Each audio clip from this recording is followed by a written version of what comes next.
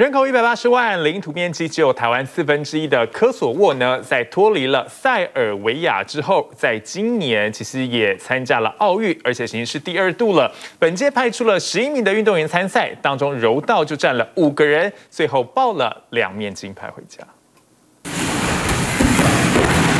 穿着蓝色道服的凯尔门蒂是科索沃的柔道奥运国手，他在上一届里约奥运夺得女子柔道五十二公斤级金牌，成为科索沃首位在奥运夺牌的选手。今年要在东京奥运挑战二连霸。Po tashmë me thonë që jam në fund të mirë, pregaditjet kanë shku qashtu që është duhet si pas planit edhe sigurisht që cako jam është më bu prap kampion olimpike.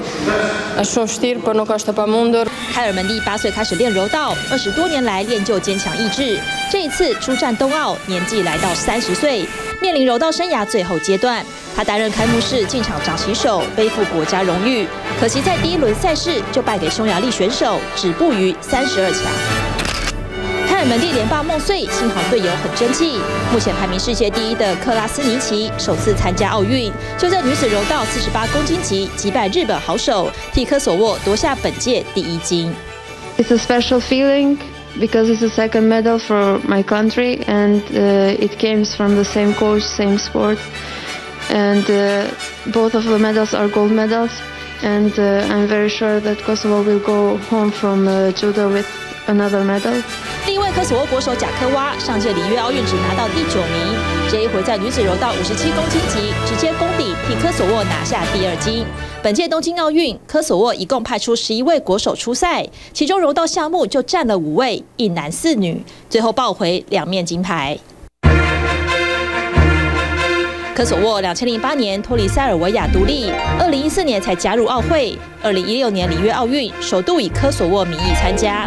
当年夺下首面金牌的开尔门蒂，出生于这座名为佩贾的小城镇。过去仍是塞尔维亚一部分时，以修道院和啤酒闻名。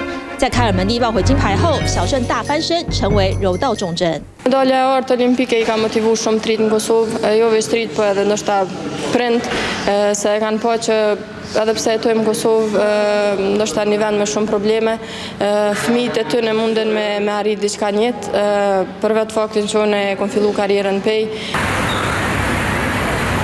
凯尔门蒂成为国家英雄，家乡市中心立了一尊铜像向他致敬。 Malina Kelmen, ju me me thonë, është ikona e çdo shqiptari, është motivi i çdo shqiptari me ne për sport këtu në Kosovë. Po Majlinda është kampion bote, kështu që Kosova për shkak Majlindës njët në këtë botën 科索沃人口约一百八十万，原本全国只有六个柔道俱乐部，在开尔门蒂夺金后增加到二十多个。